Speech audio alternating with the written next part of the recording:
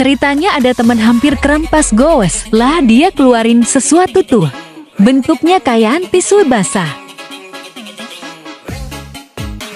Ternyata itu yang namanya tisu magik. Digosok dua di pahanya cuy. Katanya ada sensasi dinginnya. Aku kok jadi penasaran. Menurut kalian gimana? Emang bisa buat ngilangin kram?